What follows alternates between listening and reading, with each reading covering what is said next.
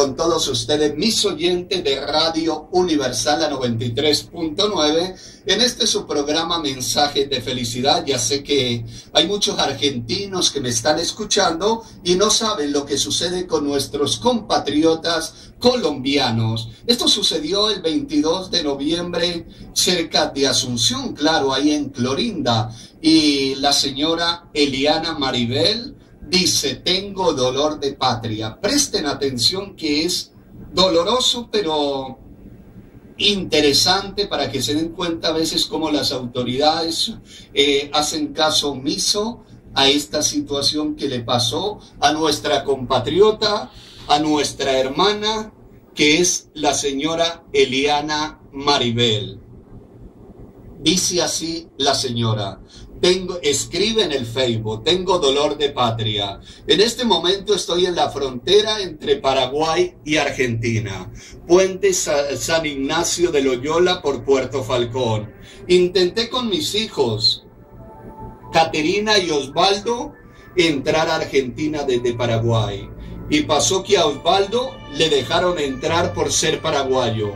Pero a los niños a Caterina y a mis dos hicieron una nota de rechazo por escrito, no dejándonos entrar a la Argentina por ser colombianos. Nos dijeron que a los colombianos no les permiten entrar a Argentina por la captura de un colombiano hace ocho días en Buenos Aires. Mi hijo de cinco años se puso a llorar porque dijeron todo eso delante de él y nos hicieron firmar la nota de rechazo donde colocaban también que éramos sospechosa. ¿O sospechosos de qué? Pues no sé. Y Osvaldo no era sospechoso solo por ser paraguayo. A él no le hicieron esa nota por ser paraguayo, pero a nosotros sí por ser colombianos. Solo a los cuatro con nacionalidad colombiana, ¡guau!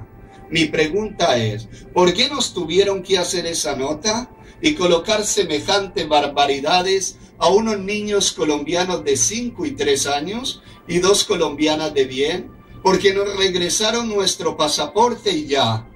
¿Alguien sabe algo de esto? ¿Qué más rato pasamos?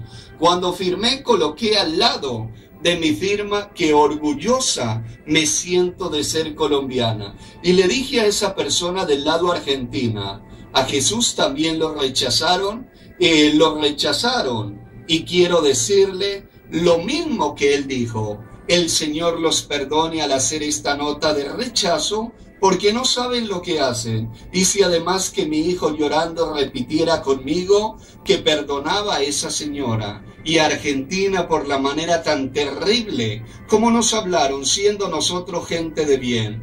No quiero que mi hijo tenga rencor por la tremenda experiencias que a su corta edad le tocó vivir. Estoy muy impresionada por este rechazo de ingreso por ser colombianos.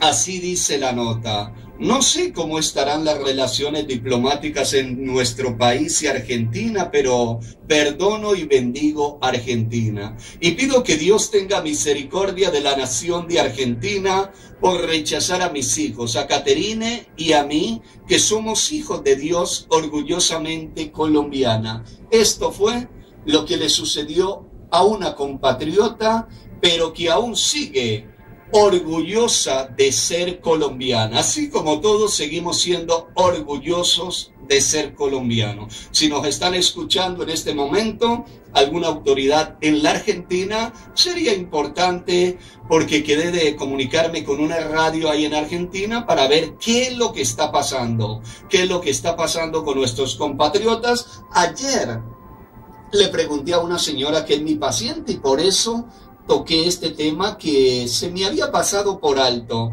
Y toqué este tema porque ayer le pregunté a una señora, averígüeme ahí, por favor, a ver qué es lo que está pasando con los colombianos que en Argentina supuestamente no le están permitiendo su ingreso. Me dijo la señora, yo no sé, profesor, pero parece que están trayendo una enfermedad y de todas maneras yo le voy a averiguar. Me quedó de averiguar y, de teléfonos de varias radios hay en Clorinda para hablar, para hablar en nombre, en nombre de todos los colombianos de bien.